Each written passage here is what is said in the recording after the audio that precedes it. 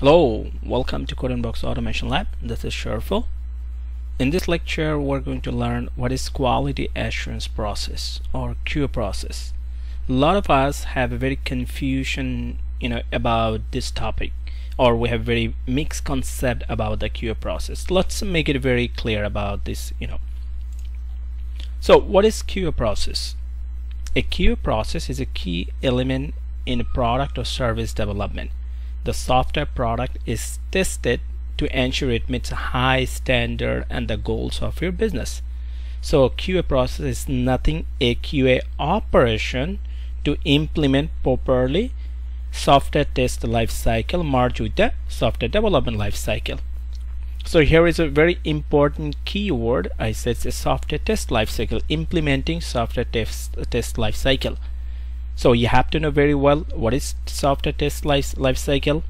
If you don't know in details about the software test life cycle, different phases in software test life cycle, activities, the roles and responsibilities for different stakeholders, and also the outcome of the each and every phase from the software test life cycle, please check below in the description. I have a full separate tutorial about the whole software test lifecycle so that you will have a very clear idea and understanding about the STLC so based on the you know STLC the QA process comes to a nutshell.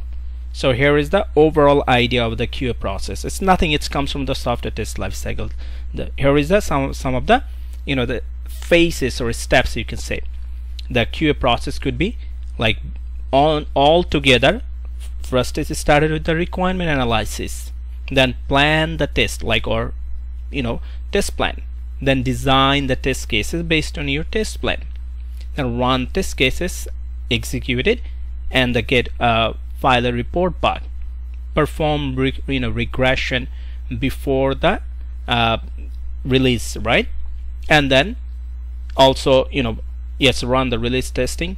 Perform release regression testing yes it's number five uh, on this this testing. So lastly it's release testing or or into in your system testing right? So this is all the steps where it comes from the software test lifecycle. So QA process I can say nothing is implementing properly your software test lifecycle. That's the QA process you know based on whatever the test you know you think it's is appropriate for your system whether it's unit test or it's integration or it's like system testing you know whatever the testing or all of them whether it's an agile uh, you know methodologies or waterfall methodologies so whatever the testing or all the different type of testing you are going to implement on your system you know those are the steps that comes from the software test lifecycle. So your QA process is nothing implementing your software test lifecycle.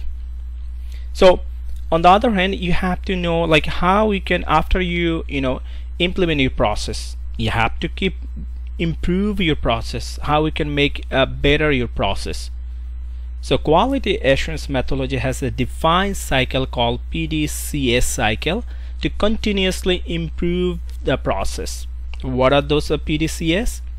So P stands for plan, do, D stands for do, and C stands for check, and A stands for act. Let's get a little bit inside about those, you know, four cycles or steps. Plan. So P is, is means plan. Plan. So what is plan? Plan is organization should plan and establish the process relative objective and determine the process that are required to deliver a high quality in product simply you can say create a process improvement plan. And then D stands for do.